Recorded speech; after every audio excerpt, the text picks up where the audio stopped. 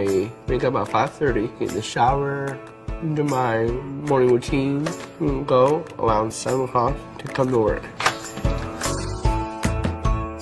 I am so excited to go to work, so I do a dance off in the parking lot. It's a dance of magic. We serve breakfast, lunch, and hugs. The hugs are the best part.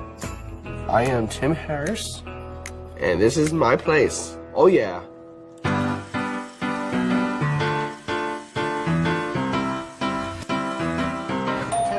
Hey guys, welcome to my place. How are you doing today? I'm good. How are you? Those are, are the best part, buddy. I love you. Have you been here before? No, I've never been here before. Well, I'm Tim. I'm the owner. Tim's place is the special place to be at because it's run and operated by me. You guys are doing a great job right here. I love you guys. You guys are, are the best cooks ever.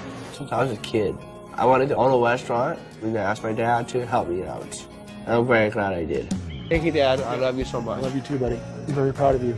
When he was about 14 years old, he told us that someday he was going to own a restaurant. After we all uh, gulped and gasped, we began to take him seriously, and the result is history in the making. They support me so I can live out my dreams. I'm amazingly proud of my brother. Just what he's accomplished in his lifetime. I mean, people can only dream, you know? I love you, Mom.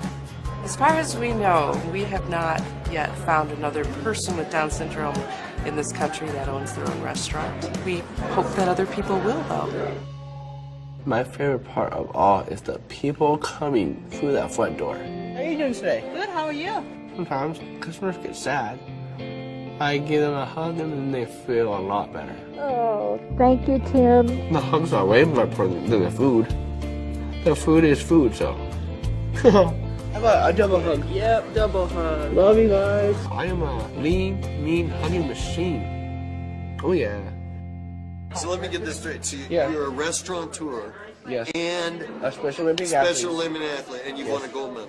I've won more medals than Michael Phelps. Oh yeah. oh yeah. Oh yeah. I did not let my disability crush the dreams.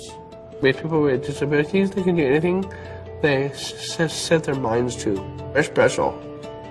We are a gift to the world.